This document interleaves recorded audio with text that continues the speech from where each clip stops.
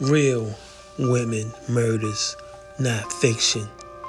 Love women, don't kill them. Giving real women, unknown women, recognition to the world. Please support our channel and please, please subscribe.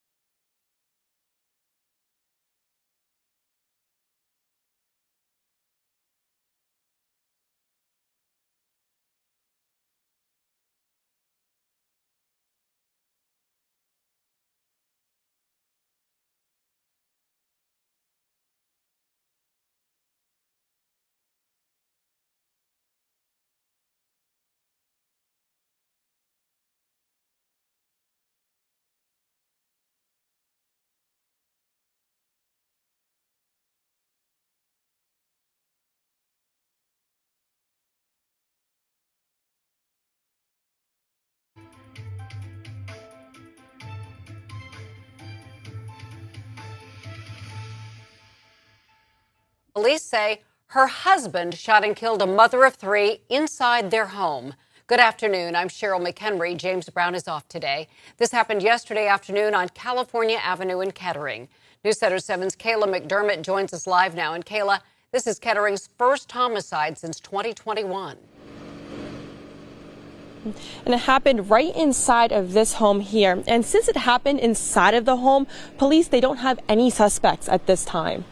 We were the only news station at the scene Tuesday afternoon as police were going into the house.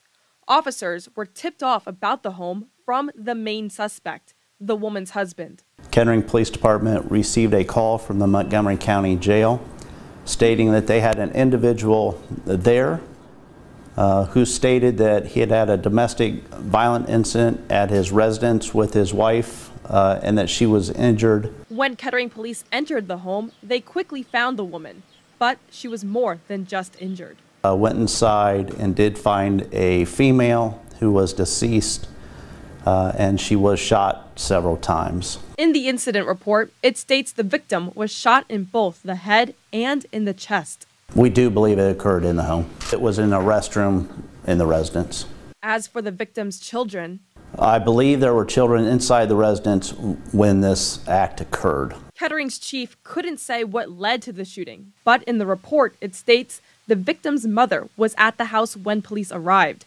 She could not make contact with her daughter and was there to pick her up to move her out. Once finding the victim, the husband was taken into custody. He is now in the Kettering City Jail. Police did not release his name, but we checked the booking system. There are only two people in custody currently, one of which is 27 year old uh, Tavion Glenn, who is charged with aggravated murder. He was brought in on 330 West 2nd Street, the location of the Montgomery County Jail. Once the suspect is charged, police will identify him. And we did some digging and found out how rare homicides are here in Kettering. In an hour, I'll tell you how many there have been since 2019, and you'll also hear from a neighbor who said that he was shocked that this happened on his block. Reporting live in Kettering, Kayla McDermott, News Center 7. We'll see you at 6.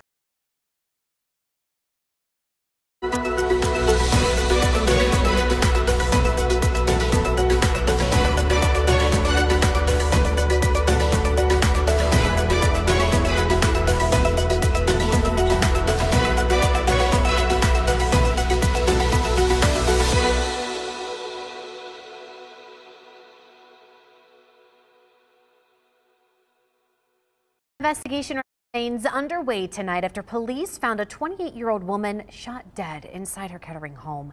The coroner's office now identifying her as Sierra Still, and Gwyneth Falloon is now back in studio live tonight. And what are police telling you about the suspect? Well, at least they're really not saying too much. They actually would not release the suspect's name, claiming Marsy's law. That law went into effect in April of this year, allowing a representative of the victim to decide not to release the names or addresses, amongst other things.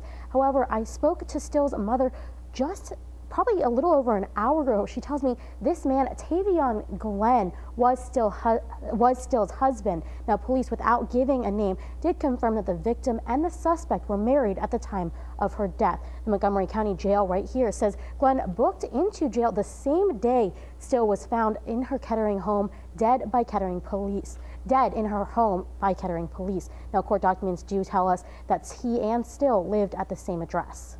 The events the other day were quite shocking.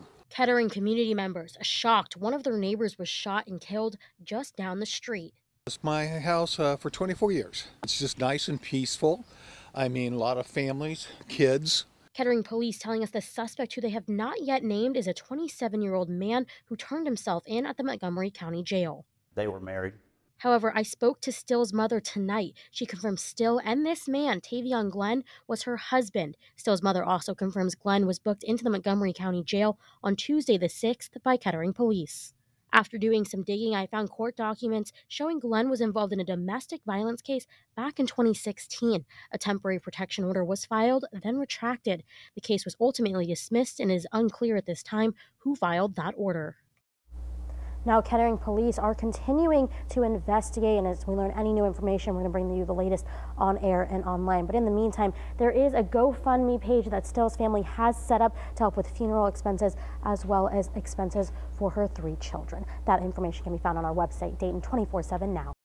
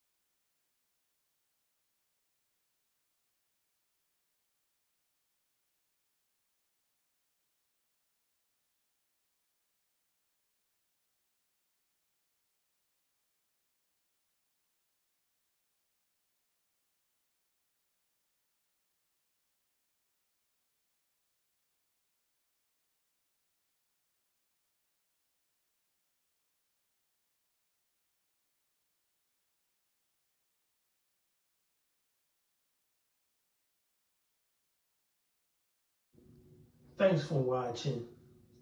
We appreciate you. Please, please subscribe.